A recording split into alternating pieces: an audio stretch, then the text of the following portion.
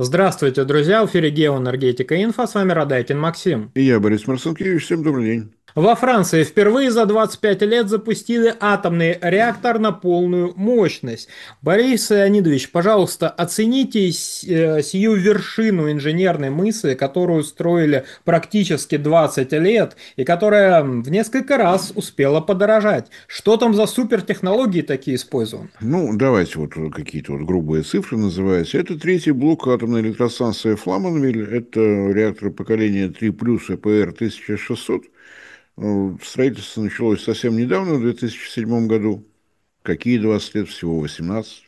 Ну, правда, он еще не принят в коммерческую эксплуатацию, но ну, в любом случае не 20, а 19. В следующем году все должно произойти. Начальная смета в 2007 году была названа 3,3 миллиарда евро.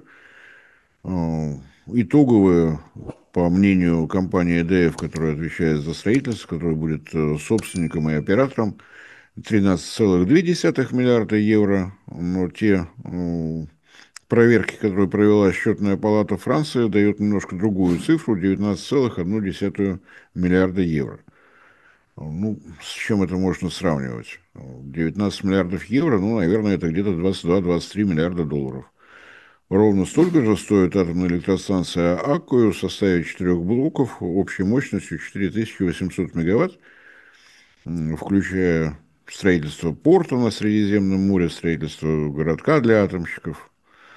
4800 у Росатома мощность в мегаваттах, 1600 у французов. Стоимость одинаковая. Ну, с годами немножко получилось, да немножко быстрее все-таки Россия строит. Ну, такой, мне кажется, достаточно образцовый пример. И после этого, конечно же, у французских атомщиков заказчиков станет намного больше. Это вполне очевидно, что меньше 20 лет, э, всего 6 э, первоначальных э, смет, и атомный реактор у вас уже работает.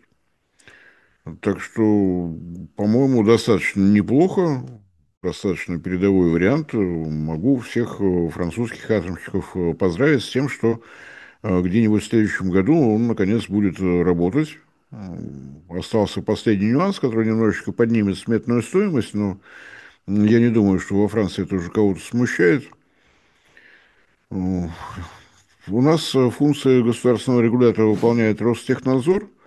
Во Франции есть свой государственный регулятор, основной принцип, на котором работают все атомные государственные регуляторы, полная независимость от компании, которая строит, полная независимость от компании, которая эксплуатирует, и, собственно говоря, полная независимость от правительства.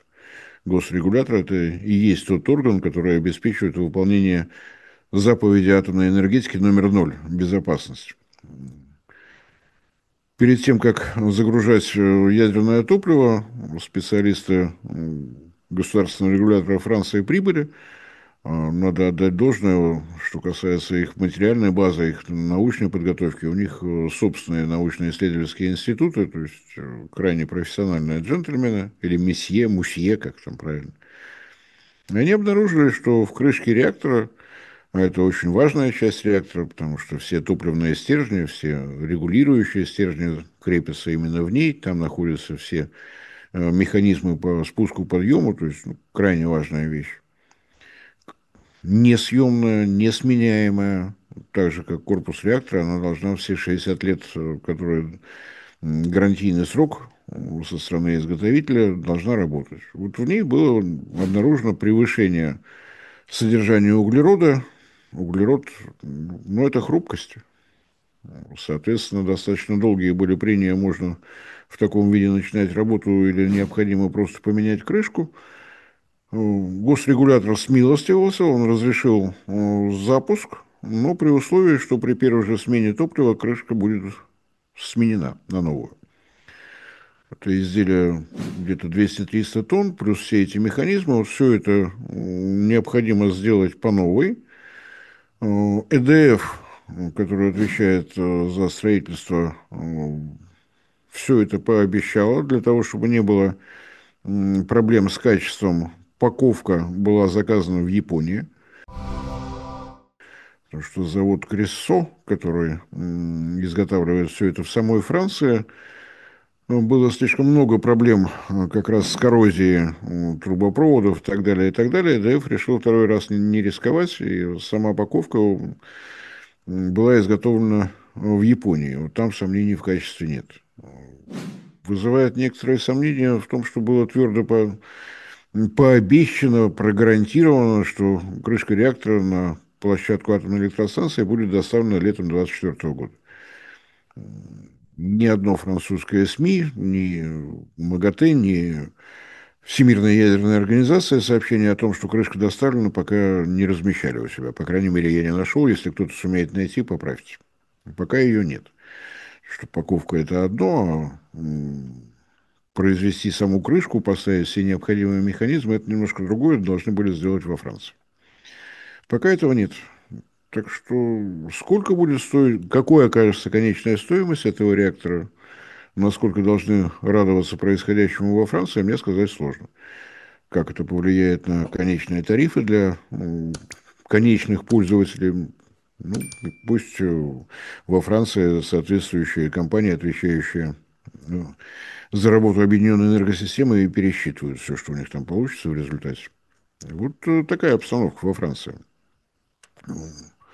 Напомню, что еще два реактора в составе атомной электростанции Хинкли Пойнт Си на базе реакторов ИПР-1600 э, строятся уже несколько лет. Э, я на всякий случай не буду говорить, когда их построят. По-моему, особого смысла не имеет. Ну, где-то до 40-го года так. С 30 по 40 как повезет. Э, те англичане, у которых еще сохранилось знаменитое наше книжное чувство юмора, предлагают друг другу гордиться тем, что именно в их стране будет самый дорогой объект недвижимости за всю историю человечества. Последние числа, которые французские атомщики называли, там что-то уже больше 40 миллиардов фунтов за два реактора.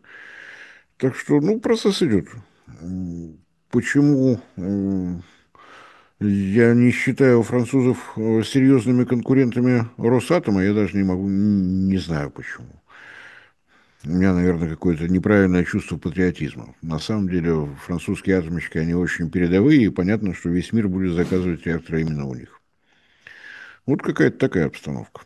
Борис Леонидович, а как обстоят дела с э, другими зарубежными, уже текущими проектами французов? Где они строят? Они также вот обстоятельно, обстоятельно вдумчиво, там, феерически справляются с строительством? Или у них там несколько это бодрее? Это же на заказ, на экспорт? Ну, тут э, достаточно сложно. На самом деле мы привыкли к тому, что, вот, допустим, строительство атомной электростанции – Эльдаба в Египте или предстоящее строительство в Узбекистане или состоявшееся строительство в Беларуси есть заказчик в лице государственной компании той или иной страны, есть генеральный подрядчик лице Росатома. Стройка сдается под ключ. Во Франции несколько иной подход, то есть вот такого EPC контракта, то есть когда генеральный подрядчик выполняет абсолютно все – заказывает, где необходимо оборудование, доставляет до места, отвечает за монтаж и так далее, и так далее. Там нет. Здесь разбито на... ЭДФ, компания, которая владеет, эксплуатирует все атомные электростанции на территории Франции, предпочитает быть внутри процесса. Она интегратор. Она делает достаточно крупные заказы от разных подразделений французского атомного комплекса, в результате ну, особо и спросить-то не с кого. Но ну, вот тот вариант, который использует Росатом, подписали контракт под ключ, сдали, в 2004 году попробовала реализовать французская компания «Арева» в Финляндии на строительстве третьего блока атомной электростанции Олкилуота. Получилось э, несколько, так скажем, стремительно – Строительство должно было завершиться в 2009 году, удалось в 2023. В четыре раза традиционно выросла смета. ЭДФ после этого заявила, что вот в таком режиме, где бы то ни было строить Ареви, она больше не даст. Так или иначе, это наша технология, мы за это отвечаем, и в таком режиме ЭДФ работала в Китае на атомной электростанции Тяньшань, сроки там были сорваны, смета была превышена, но всего в два раза, поскольку э, китайские атомщики следили за состоянием атомного машиностроения во Франции достаточно внимательно. То, что касается изготовления крупных паковок, корпуса реактора, парогенераторов, других вот таких крупных вещей, там сразу государственный регулятор Китая заявил, что из Франции мы этого заказывать не будем. Первые упаковки шли из Южной Кореи, но с южными корейцами договорились э, китайцы уже сами так, что локализация будет постепенно переходить в Китай. И, собственно говоря, атомная электростанция Тяньшань, которая была построена всего в два раза медленнее, чем было предусмотрено в договоре, это в основном заслуга китайских машиностроителей, корейских машиностроителей. Так что вот э, такой опыт. Четыре раза превышена смета и сроки в Финляндии – вместо пяти лет получилось э, то ли 18, то ли 19 у себя дома. Что будет происходить э, в Англии, посмотрим. По крайней мере, э, китайцы больше реактора ЭПР 1600 не заказывают. Видимо, настолько были впечатлены культурой машиностроения, точностью, сроками, что ну, им, наверное, стыдно заказывать еще раз все поймут, что китайцы как раз атомные электростанции строить не умеют на фоне французских специалистов, конечно, бледная немощь. Французский шар, шарм в полный рост. Можем, конечно, и дальше продолжать разговор про э, новый реактор ЭПР-2, но я думаю, что это тема для отдельного разговора. Э, если вы, уважаемые зрители и слушатели, время от времени где-нибудь видите, что э, начался атомный ренессанс во Франции, будут строить реакторы ЭПР-2, они более простые по конструкции, но тем не менее тоже поколение 3+, они должны быть дешевле и так далее, и так далее. Месье Макрон говорит о том, что их построят 14 штук в качестве станции замещения для самых старых реакторов.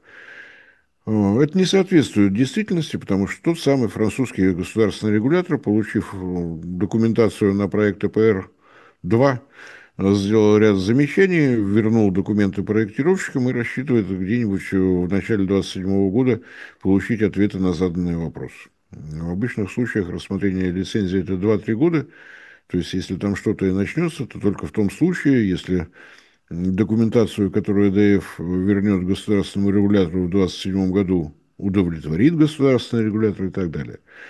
То есть вот э, французский стиль, он должен соблюдаться, и его соблюдают. Я считаю, что относиться с юмором можно ко всему, что во Франции происходит, просто в силу того, что у них государственный регулятор вот такой.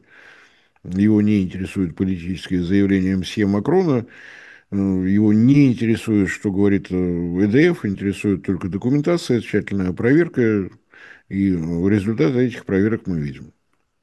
Да, аварии есть, но ноль по шкале ИНОС, по, шкале радиоактивной опасности, это заслуга государственного регулятора Франции.